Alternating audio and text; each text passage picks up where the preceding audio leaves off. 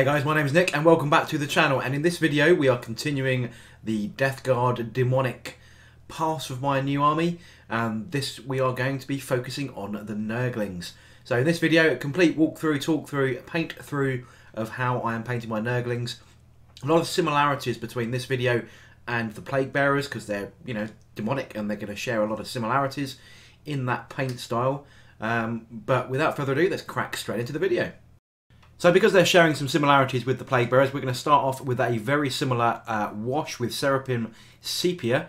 And this is going to be thinned down by my uh, Vallejo uh, glaze mixture, which is very similar to the Lahmian medium from Games Workshop. So about about a 3 to 1 ratio-ish, I would say.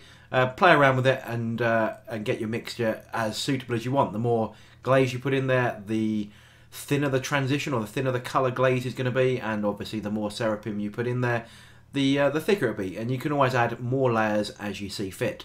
So once that's all dried this is the kind of thing that I've now got. So all this big stack of Nurglings are all now glazed in that uh, thin down wash. Um, but to be different from the Plague Bearers I needed I wanted to be a little bit different and trying to push a bit more of the green theme so here I'm going to be using a similar kind of thinned down version of Athonian Camo Shade, which is the green wash from Games Workshop. So thinned with that um, Vallejo Glaze medium again. And I'm just going to pick out uh, a few of the Nurglings, not all of them, just just a few of them, just so that there's a green hue amongst uh, several of its contingent. And uh, just randomly pick these out. There's no specific ones that I've gone for.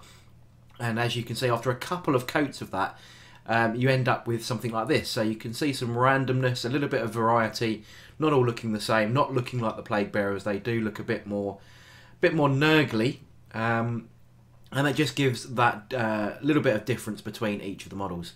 Now, while everything's drying, I, I try to keep things moving concurrently. Um, I thought at this time it was an appropriate time just to put down the um, the textured base paint that I've been using. So this is a, uh, a Vallejo project as a product as well exactly the same from the Plague Bearers videos that I've done. So just, everything's going to obviously match with the basing, and it's quite good because of the uh, the pigment or the uh, um, the stuff in it that makes it sort of a rough surface. It blends it that uh, bit of plastic that you get on the bottom of the Nurglings, so you don't see that sort of defined line. And uh, just leave that to sort of dry, and everything starts to begin to dry. So all the washes and glazes and everything. And once that's all done, we can now go back to uh, painting in some of the detail. And there's quite a few bits of detail, but I'm going to be following exactly the same styles as the Plague Bearers here. So going with a gory red uh, for the guts and all the entrails and all the tongues and everything else that these little uh, these little guys have got. And as you can see, that's exactly what we're going to move to. There's lots of entrails and, and things. The more I look at these, the more that makes me uh, makes me laugh because the the modelling on them is actually really quite funny. They've all got these weird little uh, savage grins on their faces and their tongues all sticking out and they're holding their guts out. Like that guy on the far right hand side there is pulling out his intestines.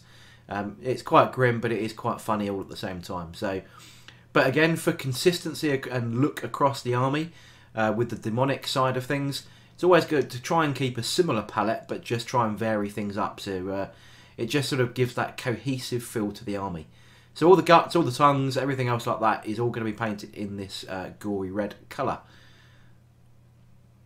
There we go, just picking out a few more bits. There's of scabs and sores and things all over these little guys' backs, but just make sure you sort of pick out anything that looks uh, like it should be red, anything that's a bit of guts. As you can see on the back there, there's all these little red sores and pustules and things like that, so that's exactly what I've picked out with that colour.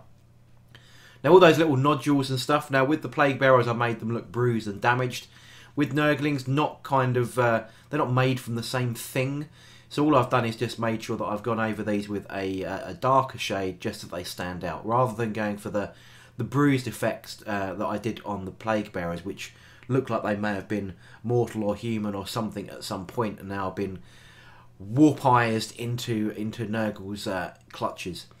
And all this does, as you can see, those, those little spots and pustules and things, it just just enhances them with a with a neater uh, wash around those so you can pick those out just like I've done there and you can see them all sort of all looking pretty pretty grim and boil-like and stuff all over these little Nurgle bases. So we can now move on to the next stage and exactly the same again as the Nurgling so anything that is red and all the mouths in this case is going to be given a Nuln Oil uh, wash And what this will do is it will darken down the reds, it will give some uh, depth to all those wounds and sores and guts and everything else. And painting it into the teeth, because the teeth are sort of quite pronounced, all this does is sort of darken in the back of the mouth so it doesn't look like it's part of the uh, the green, as it were, of the skin. So it gives it a little bit of depth and the teeth will automatically stick out because the wash will go into the recesses and leave the teeth all sticking out. Uh, which is which is a nice simple way of doing it. And you can go over the teeth again if you wanted to sort of highlight them up once the wash is dry. But for me, I didn't feel that was overly necessary. If you just put the right wash in and make sure it didn't stick to the front teeth, then you were going to be good to go. So it's just a case now of just putting the uh, yeah the wash all into the mouths. As you can see, there's another little mouth at the front. There's plenty to do here. Uh, plenty of uh, little gaping smiles from these little fellas.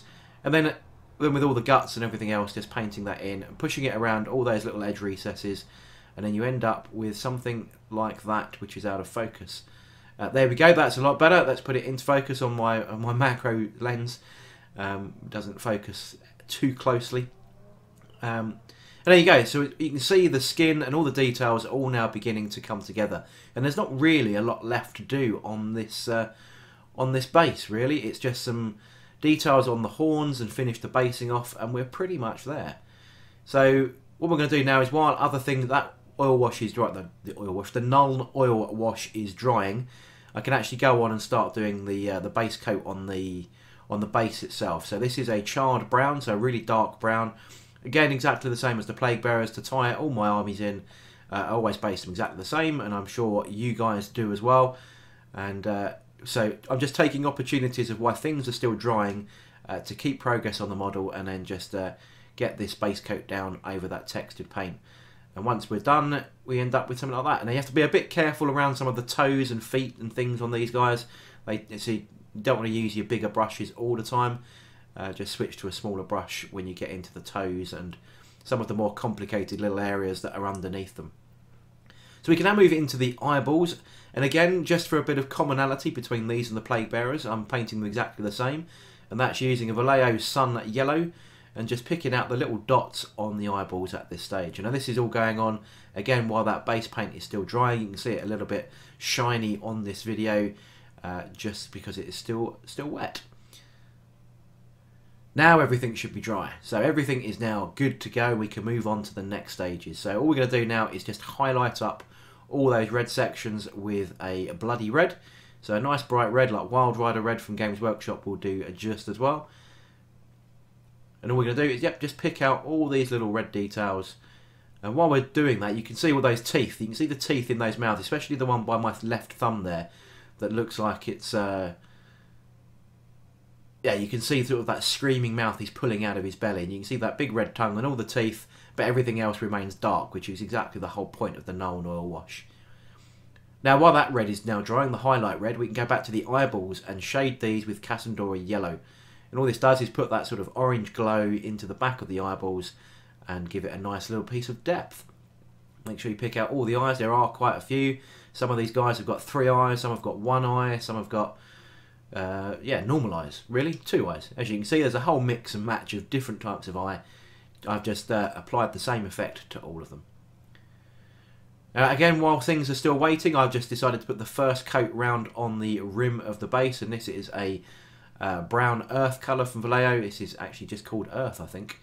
Um, yeah, exactly the same, just matching in to the rest of the army. So just at this point, you know, just give it a quick first coat. It does take sort of two coats to go around that and once we're done that's exactly what we're uh, we're left with. And now again everything is now dry once more. And we can move in to gloss varnishing all those guts and tongues. So everything that was red that you've done before. So it's been uh, done with the uh, red gore then the Nuln oil and then the bloody red. When once everything's then dry we just gloss varnish that so it looks all slimy and uh, intestinal Again, exactly the same technique from the Plague Bearers. I know I keep harping back to the Plague Bearers, but there's a lot of overlap in some of the style here, which which is befitting when you're making a thematic army. So the last thing we really need to do on the actual models is just touch in at the edges of the, all the horns. Um, so all I'm doing is just tip, tipping the end of the horn in a bit of black. And what I actually do, which I haven't caught on video, is blend that bit of black with a bit of bestial brown into the bone colour that's below it. So just a little bit of added transition. And as you can see, this is they, these things are really quite small, and some of them are blended into the actual body of the model, which are difficult to pick out. But once we're done, we end up with something like that. So uh, it just adds that little extra bit of detail, and then you know you can see where all the little uh, heads really actually form. It's quite a simple little thing to do. And as I said, I did merge these with a little bit of brown, which you'll see in the pictures at the end of the video. So while we're doing that, we can then just dry brush on the khaki colour, which is what I'm using to highlight up that bestial brown, or the charred brown, sorry, that's on the base. Uh, just a standard dry brush, just pick out those little raised bits from the uh, basing texture paint, uh, front and back, and then we are good to go. And then once we are done, we end up with these, and this is the fully finished models. So all I've done now is apply my special uh, basing material, which if you catch my Plague Bearer video, you know is actually hedgehog food. These are genuinely real mealworms and little bugs, and I think that's quite fitting for Nurgle basing. And as you can see those little horns, you can see those little bit of brown between the black and the bone colour, just to sort of blend that in so that it transitions a little bit nicer and you can see that I've done not just that one base for the video but I have now completed six all following the exact same recipe. As you can see they are evil mad looking dudes aren't they really? Um, and I do have another group of these. I will be adding another three to this force so I've got a total of nine. Um, but yeah you can see that I've completed two squads of three or one squad of six however you want to put them together. And uh, I think you can see all the different random shades of green and the uh, where I've picked out different models on different bases. It just sort of mixes the unit up. Some of them look a bit pale, some of them look in between, some of them look green, some of them look darker green. And I think that's the real cool thing about demons is that they don't have to be uniform. They're not the Emperor's finest. They're not Ultramarines with their polished armor. They do need to look a bit random and a bit, bit weird, and that's what makes de demons cool. That makes makes them demonic and that's what makes me really like them. But there we go, that's the end picture. So there we go then guys, that is the first lot of Nurgling bases for my Demon slash Plague Marine army, my Death Guard force. Um, yeah, quite quite good fun to paint, quite simple to paint, which is always good. Anything that involves lots of multiple washes rather than lots of paint transitions and so on is definitely a lot quicker. Um, you can see there I've used sort of three three different shades, uh, several different depths so that you can get more or less color control, more opaqueness with the uh, color. So some of them can be a darker, lighter, and so on, whichever suits your style and uh, suits your army really. And this was the style that I went for. So it's a bit of a hybrid kind of thing. It's gonna, you know, my Death Guard are gonna be more green than they are sort of the creamy color that's doing the rounds at the moment. And my Plague Bearers and all the demons are going to be a bit lighter, and the Nurgling sort of transition between those. So that's going to be um, just makes it good fun, makes it a little bit of variety, and but still maintains that coherency across all of the army with a lot of uh, similar colours on the palette, and that is that is key to uniformity, even with the unit diversity that um, demons and plague marines and so on have. But I hope you enjoyed the video. I hope you learned something new. Uh, if you did, don't forget to like, comment, and please subscribe. It would be much appreciated. And until then, I shall catch you guys on the next video.